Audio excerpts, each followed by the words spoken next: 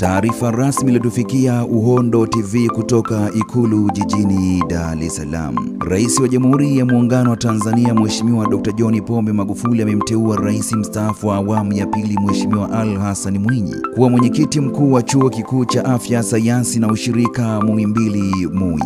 Mheshimiwa Ali Hassan Mwinyi ameteuliwa kuendelea na wadhifa huo kuanzia tarehe 25 Septemba 2019. Mheshimiwa Magufuli pia amefanya uteuzi wa wenyeviti wanne wa bodi za taasisi mbalimbali kama ifuatavyo. Kwanza, Mheshimiwa Rais Magufuli amemteua Profesa Mayunga Nkunya kuwa mwenyekiti wa Tume ya Vyuo Vikuu Tanzania TCU. Profesa Nkunya anachukua nafasi ya Profesa Jacob Mtambaji ambaye muda wake umemalizika. Profesa Nkunya ni katibu mstaafu wa Baraza la Vyuo Vikuu vya Afrika Mashariki. Pili, Mheshimiwa Rais Magufuli amemteua Profesa Idris Bilali Mshoro kuwa mwenyekiti wa bodi ya wakurugenzi wa wakala wa maji na usafi wa mazingira vijijini, Rural Water Supply and Sanitation Authority RUWASA. Profesa Mshoro ni profesa wa uhandisi wa Chuo Kikuu cha Dar es Salaam UDSM.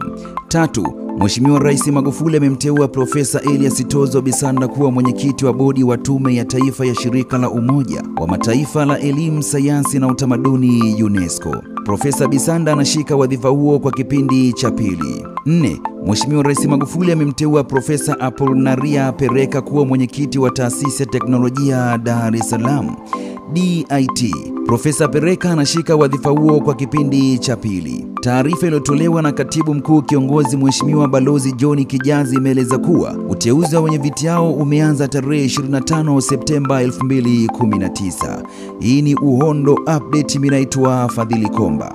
Usiache kusubscribe, like, komenti na kushare.